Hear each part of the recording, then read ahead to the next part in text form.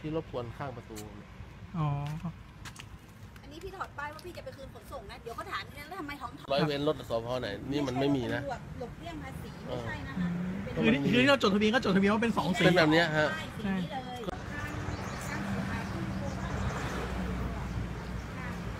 อันนี้ประมูลมาปีนะปีห้าปีห้าสองจากที่จด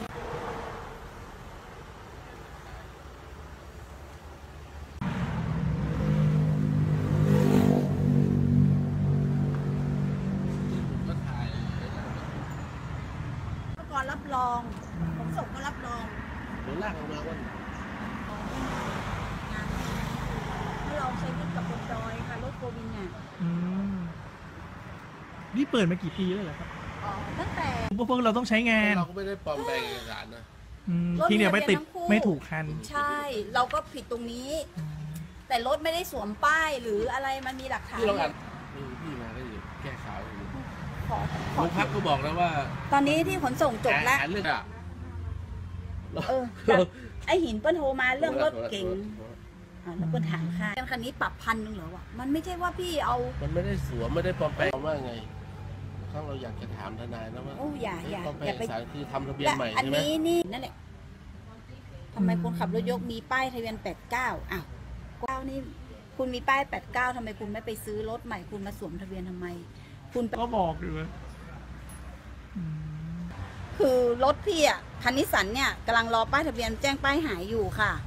แล้วก็เลยเอาป้าย 89 ซึ่งเป็นของมิซูเนี่ยเอามาแปะหน้าไว้ก่อนเพื่อวิ่งใช้งานกัน เพราะว่าตำรวจทางหลวงมันไม่ค่อยเข้าใจ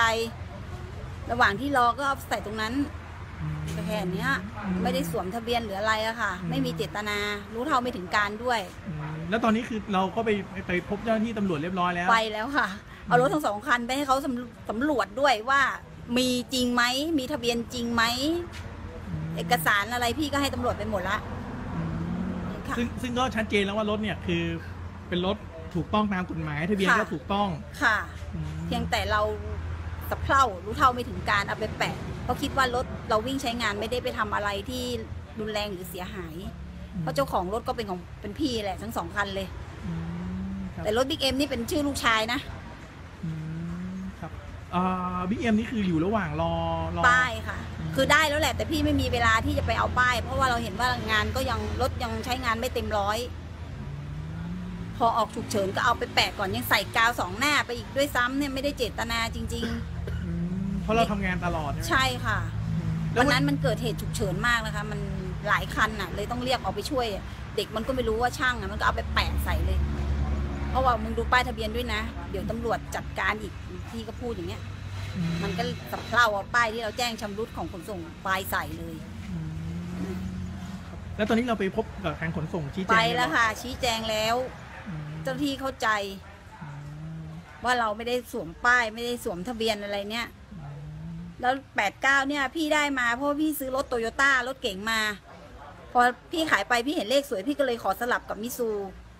มันก็แค่เนี้ยแปดเก้านี่ได้มาตั้งแต่ปีไหนแล้วครับ เอ่อปีหกหนึ่งค่ะ ปีหกหนึ่งใช่แปดเก้านี่นะอืมใช่เพราะพี่ซื้อรถมาแล้วมาซ่อมครับ ซ่อมเสร็จขี่ได้สักพักโอนมีชื่อพี่เรียบร้อยเออพอจะขายมีคนมาซื้อก็ขายไป ก็เลยขอป้ายเขาคืน แล้วก็ทำขออนุญาตในทะเบียนและสลับป้าย ระหว่าง 284 ของมิซู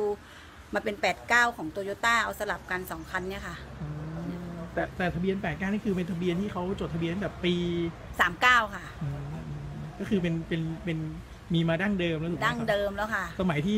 เลขประมูลมันยังไม่ดังใช่เลขประมูลยังไม่ดังอืมก็นะบางคนเนี่ยเม้นพี่เจ้ารุนแรงเลย89นี่เลขสวยทำไมคนขับรถยกมีป้ายนี้ โอ้แล้วหลังจากเกิดเรื่องนี้คือแล้วเรารู้สึกยังไงไหมครับโอ้เครียดค่ะ พวกความรู้เท่าไม่ถึงการของเราแล้วก็ ไม่คิดนะเนาะว่ามันจะรุนแรงขนาดนี้ก็รู้สึกเสียใจนะคะ ก็ขอโทษชาวเน็ตด้วยอะค่ะ ถ้าทำให้เสียใจผิดหวัง กับเรื่องราวแบบนี้ เพราะพี่ก็เดือดร้อนอยู่พยายามแก้ข่าว แต่แรงเหลือเกิน บางคนนี่เม้นแบบสุดโต่งเลย แล้วจากนี้คือเราจะต้องระวังตัวยังไงโอ้ ขึ้นตอนนี้พี่กำลังเดินทางไปเอาป้ายทะเบียนที่ขนส่งแล้วค่ะของรถบิ๊กเอ็มไม่เอาแล้วกลัว อืมก็จะทำให้เรียบร้อย ทำให้เรียบร้อยค่ะ